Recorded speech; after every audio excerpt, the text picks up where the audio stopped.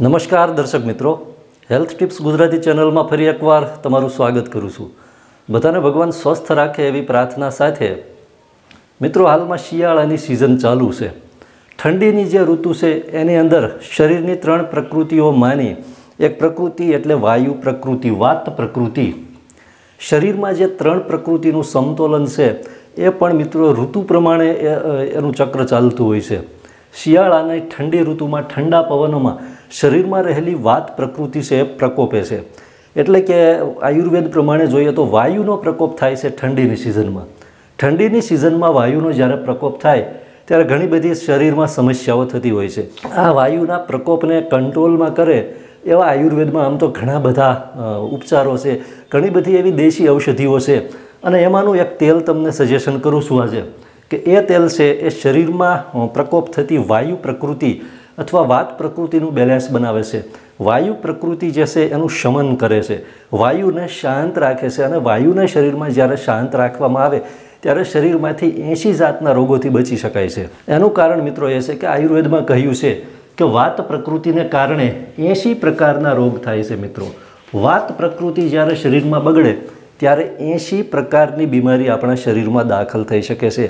અને આ એંશી બીમારીઓથી બચવા માટેનું શ્રેષ્ઠ ઉત્તમ તેલ છે, જે વાયુને કાબૂમાં રાખે છે, જે વાયુ ઉપર કંટ્રોલ કરે છે. અને શરીરમાં વાયુ ઉપર કંટ્રોલ થાય એટલે ખાસ શિયાળામાં. બીજું એ કે જે લોકોની પાછલી ઉંમર છે, ચાલીસ વર્ષ પછી કે પચાસ વર્ષ પછી જે સમસ્યાઓ થતી હોય, મોટા ભાગે વાયુને કારણે થતી સમસ્યા હોય છે. આયુર્વેદમાં પણ કહ્યું છે કે જે શરીરનો, જે શરીરની ઉંમર છે એનો પાછલો ભાગ હોય છે. એ વાયુ પ્રકૃતિને આભારી રહેશે. એટલે વાયુ બગડવાથી જ મોટાભાગે પાછળની ઉંમરમાં થતી મોટાભાગની એવી સમસ્યા હોય છે. એક તો વાયુ છે એ ક્યાં વાયુ શા માટે શરીરમાં પ્રકોપે? અથવા વાત પ્રકૃતિ શરીરમાં કેમ બગડે? એક તો વાયુ બગડવાનું મુખ્ય કારણ તો ઠંડુ વાતાવરણ.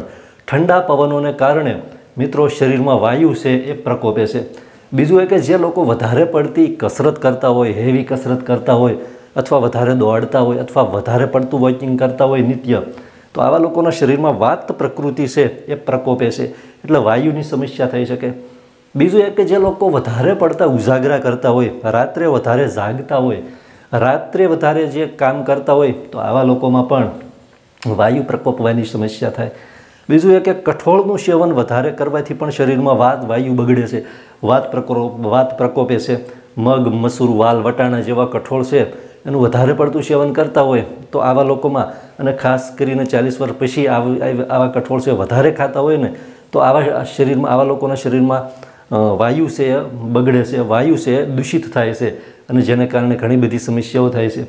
બીજું એ કે અનિયમિત ભોજન, એટલે પહેલાં તો ભોજન છે, કાં તો વધારે પડતું અમુક ટાઈમે જમી લેતા હોય, અમુક ટાઈમે ઓછું જમતા હોય, જેમ કે બપોરનું ભોજન ઓછું કર્યું હોય, અથવા બપોરે ન જ ખાતું હોય, સવારે ખાતું હોય અને બપોરનું ભોજન ટાળી દીધું હોય, પછી રાત્રે એકસાથે વધારે ભોજન ખાઈ લે.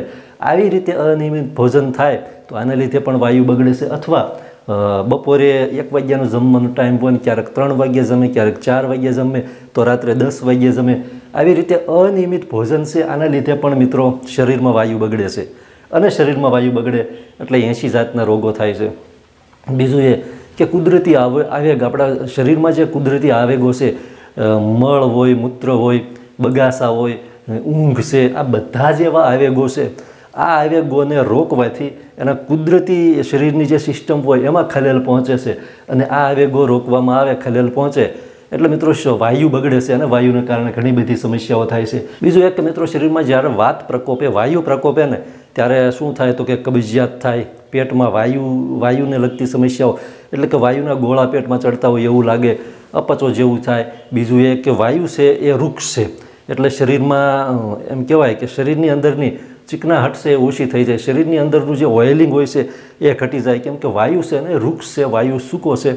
એટલે શરીરમાં રહેલો કુદરતી ચિકાસ છે ઓછી થઈ જાય. જેને લીધે હાડકાના સાંધામાં ઘસારાઓ વધારે થાય અને જેને લીધે મોટી ઉંમરે સાંધાના દુખાવા થાય, ગોઠણમાં દુખાવા, કમરમાં દુખે કોણીમાં દુખે, ખંભામાં આખું શરીર દુખતું હોય, આવી કેવી ઘણી બધી પેટમાં ગડબડ થતી હોય વારંવાર, તો આવી ઘણી બધી એવી સમસ્યાઓ હોય છે જે વાયુ પ્રકોપથી થાય છે. હવે આ વાયુ પ્રકોપને દૂર કરવા માટેનું બે તેલ બતાવવા છે મારે આજે, પણ બેમાંથી એક પહેલું તેલ જે કહું છું ને, સૌથી ઉત્તમ છે શિયાળા માટે. અને એ તેલનું નામ છે મિત્રો અળસી. અળસીનું જે તેલ છે ને એ વાયુ પ્રકોપને અત્યારની સિઝનમાં કાબૂમાં રાખવા માટેનું સૌથી શ્રેષ્ઠ તેલ છે. જો વાયુના ગુણ શું છે કે લઘુ વૃક્ષ અને હલકો, જ્યારે અળસીનું જે તેલ છે, આ તેલ જે છે, આના ગુણ શું છે? ગુરુ, ચીકણું અને ભારે. વાયુ છે એ વૃક્ષ છે. પહેલાં તો વૃક્ષ એટલે જે આપણે એવું દેશી ભાષામાં કહું કે હાડકા જે હોય છે, બે હાડકાના સાંધામાં, એ કુદરતી ઓઇલ હોય છે, જેનું નામ છે સાઇનોવિયલ ફ્લુઇડ. આ નેચરલી એક પ્રકારનું લુબ્રિકેન્ટ હોય છે. વાયુ શરીરમાં વધે ત્યારે આ લુબ્રિકેન્ટ છે ઓટોમેટિક સુકાઈ જાય છે. વૃક્ષતાને લીધે, વાયુની વૃક્ષતાને લીધે આ લુબ્રિકેન્ટ સુકાઈ જાય. જેને લીધે હાડકાના જે સાંધાઓ છે એમાં હાડકાનો ઘસારો થાય અને એને લીધે સાંધામાં દુખાવા થાય. ત્યારે આ જે તેલ છે, અળસીનું તેલ, એ ચીકણું છે.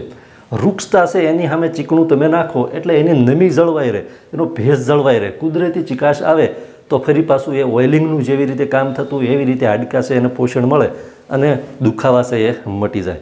આ રીતે તેલ કામ કરે છે અળસીનું તેલ. બીજું એ કે અળસી મોટાભાગના લોકોએ ખાધી જ હશે ક્યાંક ને ક્યાંક.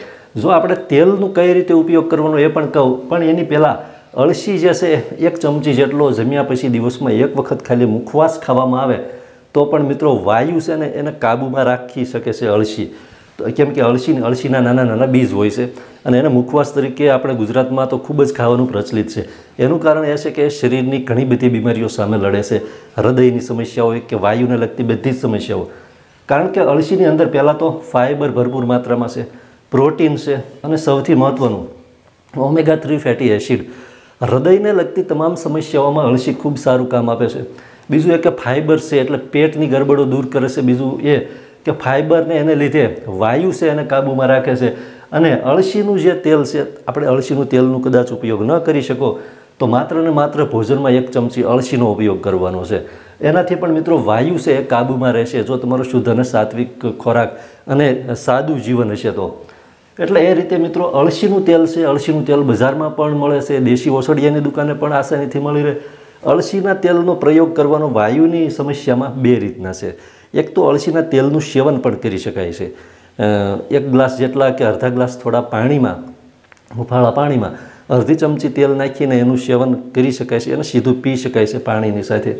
બીજું એ કે પાણીની સાથે તેલનું સેવન ન કરવાનું ફાવે તો અળસી છે, એના દાણા છે એ મુખવાસ તરીકે એક ચમચી તો દિવસમાં ખાવાના જ છે.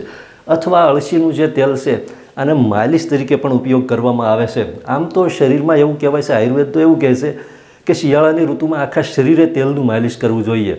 કેમ કે માલિશ છે, માલિશ કરવાથી જે વાયુ બગડેલો હોય, બગડેલો વાયુ કાબૂમાં આવી જાય છે. વાયુનું શમન થાય છે, વાત પ્રકૃતિ છે, એ કંટ્રોલમાં રહેશે. જેને કારણે મિત્રો માલિશ કરવાથી પણ આપણે આખા શરીરે માલિશ ન કરી શકીએ તો કાંઈ નહીં. જે હાડકાના સાંધાઓ છે, ગોઠણ છે, કમર છે, અથવા એવી જ્યાં સમસ્યા આપણને થતી હોય, અથવા જ્યાં દુખાવો થતો હોય, ત્યાં અળસીના તેલથી માલિશ કરવામાં આવે. તો પણ મિત્રો બગડેલો વાયુ છે અને એને કારણે જે સમસ્યાઓ થાય છે, આ સમસ્યાઓ મટે છે. બીજા તેલની વાત કરતો એ તેલનું નામ છે તલનું તેલ. આયુર્વેદ અને એવું કહેવાય છે કે દુનિયામાં સૌથી પહેલાં જે તેલની શરૂઆત થઈ હોય તો એ તેલનું નામ છે તલનું તેલ. અને આ તેલનું નામ જ તલ ઉપરથી તેલનું નામ તેલ પડ્યું છે. એટલે તલનું તેલ તો સૌથી બેસ્ટ તેલ છે. તલનું તેલ માલિશ કરવામાં પણ જેટલું ઉપયોગી છે, એટલું જ ખાવામાં ઉપયોગી છે. તમે તલનું તેલ ખાલી ખોરાકમાં ચાલુ કરી દો તો પણ મિત્રો બગડેલો વાયુ છે એ કાબૂમાં આવી જાય છે. અને બગડેલો વાયુ કાબૂમાં આવે ત્યારે શરીરમાં જે નાની મોટી ઘણી બધી એવી સમસ્યા હોય છે, જે એંશી જાતના રોગોમાંથી કોઈ પણ બીમારી હોય, બધી જ બીમારી દૂર થાય છે. એટલે બે તેલ બેસ્ટ છે શિયાળામાં. અળસીનું તેલ ખાસ બને ત્યાં સુધી માલિશ કરવામાં અને તલનું તેલ ખાવામાં આ બે તેલનો આ રીતે ઉપયોગ કરો અથવા કોઈ પણ એક તેલનો જ ઉપયોગ કરો ને મિત્રો, તો પણ શરીરમાં વાયુ છે એ પ્રકોપ થતો નથી. શિયાળામાં જો વાયુ પ્રકોપ ન થાય તો શિયાળામાં બીજી કોઈ સમસ્યા થતી નથી. સાંધાના દુખાવાવાળા લોકો માટે ખાસ અમૃત સમાન છે બંને તેલ.